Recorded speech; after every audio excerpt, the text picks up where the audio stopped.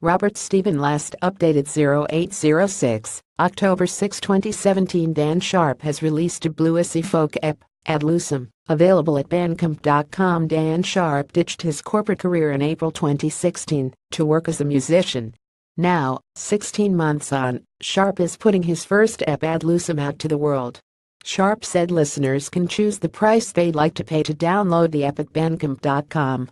Dan Sharp has released a bluesy folk ep, Ad Lucem, available at bandcamp.com. The Blue Sea folk album features five songs which rose to the top after years of writing music, he said. They tell the story of my jump into becoming a musician and give some insight into the inner workings of it all. Inspired by Bruce Springsteen's biography, Sharp recorded the songs at his Waipahi home. He did Nebraska, one of my favorite albums, at home on a four-track cassette tape. Instead of sending in the demos, he released them. I thought, SH, he did that in the 1980s. There's no reason I can't do the same, he said. I didn't want to be reliant on someone else to be successful. Sharp studied UPCOM at Otago University and played at the Captain Cook Tavern every second week. In 2014, he started working for a large accounting firm in Auckland. You're working some pretty long hours, and it's pretty hard to have any energy or creativity at the end of the week, he said. After a couple of years, I figured the only way you'll know what to do is to try it. I'm not going to die wondering, Sharp said.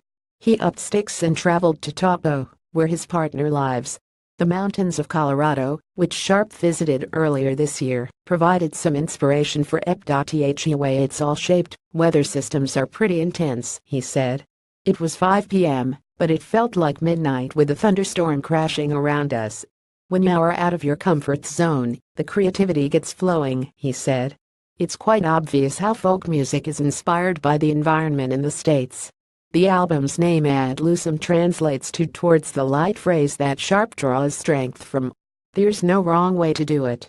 As long as I keep moving towards the light, it's progress, Sharp said. To download or order CD copy of Ad Lucem, visit bandcamp.com. Stuff